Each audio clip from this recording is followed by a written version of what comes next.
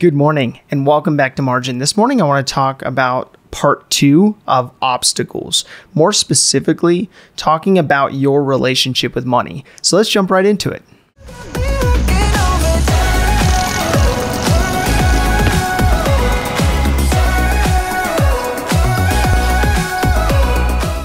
So let's be honest, we've all met those uh, highly educated people who have been uh, literally taught to think, to critically think, to critically look at uh, how to build a case study for something or how to resolve a certain issue. Uh, and oftentimes I've seen uh, some of these same people basically work for companies to to optimize someone else's portfolio, someone else's business, someone else's livelihood, and someone else's um, legacy. And and unfortunately, you, this is an example where you have um, you have all this skill set, you have all this capability that is never really put fully uh, to work because uh, you're building someone else's legacy. You're building up someone else's um, you know, plan for your life, as I mentioned in a previous episode. So that's something we all have to be careful about. We have to look at it from the standpoint of it's okay to be an employee. It is fully okay to have that nine to five. I'm one who also has a nine to five, but um, but at the same time, you need to know your why. Why why are you doing that, and is that a good fit for you for the long haul? So Robert Kiyosaki uh, refers to various quadrants that people operate in uh, one of which is uh, the employee quadrant, one's the self employed quadrant, one's the business owner quadrant, and one's the investor quadrant. And, uh, and, and most of us, uh, you know, fall into one of those quadrants or maybe more than one of those quadrants. Uh, but oftentimes, when I look at a self employed uh, individual, they may have a skill set, they may have some type of trade that they've learned uh, that they have maybe stepped out from being employed by someone else to provide that value. Um, but but oftentimes, when they move into that self employment quadrant and start their own business, they're still an active part of that business and they can't necessarily build that bridge to get to a point where they're actually managing systems instead of people. And uh, there's nothing wrong with being an employee at all. But oftentimes, what I find is people get stuck um, in that uh, rat race, in that flywheel that uh, they're building for someone else, uh, where they are a critical piece of someone else's puzzle and they don't know how to necessarily step out and start their own thing. They see all the benefits of being a business owner, they see all the benefits of maybe even being an investor. Uh, but when it comes to them themselves, they operate with what's in front of them and they can't necessarily build the bridge to what that bigger picture vision would be uh, if they were to build up systems or if they were to invest in things bigger and greater than uh, than being self-employed or being an employee for someone else. So I had a conversation with a uh, with a coach of mine recently who I was having a conversation around the topic of why people don't act you know why people may watch they may listen they may learn but they don't necessarily apply it to their own personal life. They may become a silo of knowledge um, but that silo of knowledge doesn't necessarily translate to them taking action on the things that they're learning so, a lot of people operate with this fear of failure, the fear of the unknown, or the fear that they may actually accomplish what they set out to accomplish. And oftentimes, this is what holds people back from going out and starting that small business, going out and taking the trade that you've learned, and instead of being a cog in someone else's system, uh, stepping out and becoming uh, or building the uh, the business where you can actually take that trade and extrapolate it out. So I've always loved the quote that nothing worth doing is easy. Nothing worth doing doesn't take time and effort and dedication. And oftentimes you see these people that step out and seemingly uh, gain fame overnight. They, they seemingly step out and have all this skill set uh, and, and basically uh, defy normal, defy gravity in the sense of their ability to catapult out. So oftentimes I see people neither work hard nor smart when it comes to their personal finances.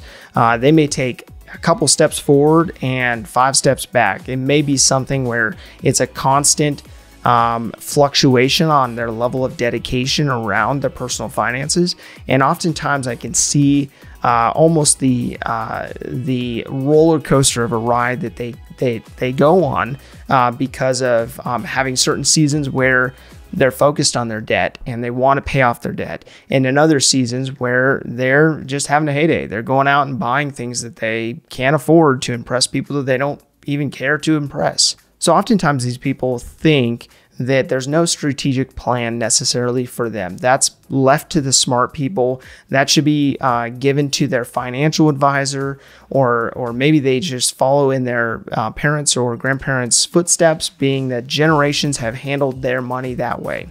Uh, but I think that oftentimes people end up opting out of actually making decisions around their personal finances. They see those obstacles of getting involved and actually having to make decisions around their personal finances as completely daunting. So they, they become paralyzed and they don't do anything at all. I believe that you win at what you focus on. And and oftentimes what we focus on uh, can be the negative connotations around money. We can focus on um, how something didn't work for someone else, and it can leave us in a place where we don't take action. We don't um, end up being proactive with our personal finances because it is something that seems so daunting. It seems like such a big obstacle uh, for us to overcome. So, in regards to obstacles, there's a quote that I love by Chambers, and the quote says, A river is victoriously persistent, uh, overcoming all barriers. For a while, it goes steadily on its course, but then comes to an obstacle and for a while it is blocked, yet it soon makes a pathway around the obstacle.